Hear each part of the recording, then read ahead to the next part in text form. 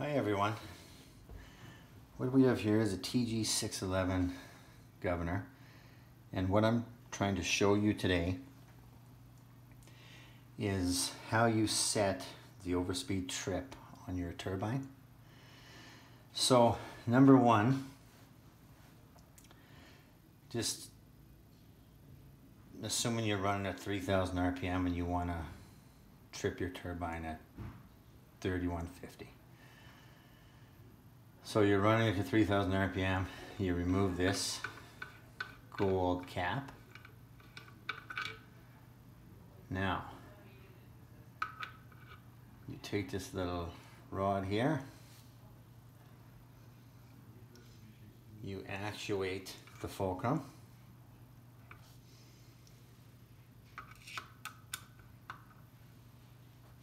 Put the T-handle in there. So, you turn this in clockwise. What you're doing is you're just pushing down on a little plunger that's inside. And if you notice on the video there, you're, there's a gold lever here that's starting to go down. It's connected onto your speed here, your speed setting. And what happens as you're turning this in, it starts to eventually push down on this lever here, which push, pushes pressure down on your speeder rod, which of course now puts pressure down on your spring, and of course applies down on the spring, pushes down on the weights. Now what you're doing is you're overriding your, your 3000 RPM, and now you can go further with the you can bring up the speed of the governor to trip your turbine. So you would just turn this, turn it, and just assuming now you hit 3150. So you've tripped your turbine at you know the speed you were looking to trip it at. Your turbine's running down. So you would take,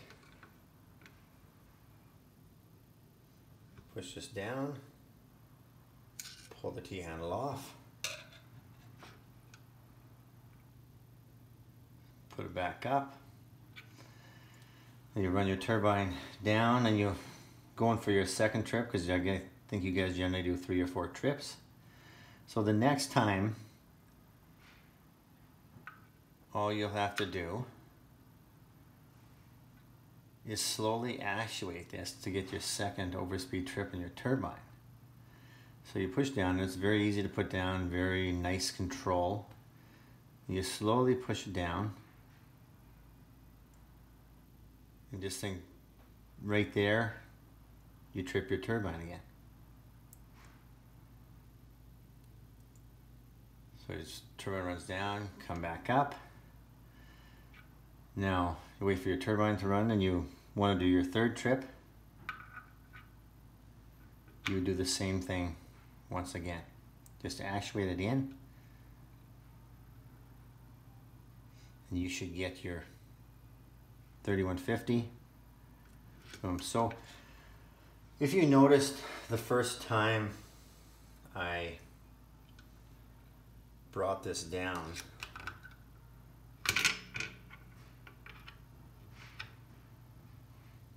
first time I brought this down, I had it resting again. So I still had room here to actually actuate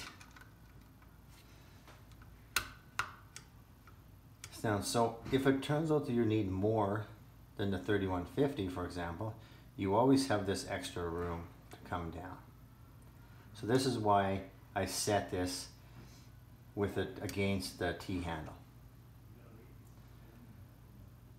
So now you keep it there. You can keep it in this position because once you come to the top, it's out of play. You never have to worry about it. You can, the next time you go to do an overspeed trip, you can, you know you're set on the money. You don't have to worry about it. Or if you decide that you, you know, would rather not have it actuated, Then of course you can just take this out of play. Just turn it counterclockwise. There. Just turn it to the top. Take it out.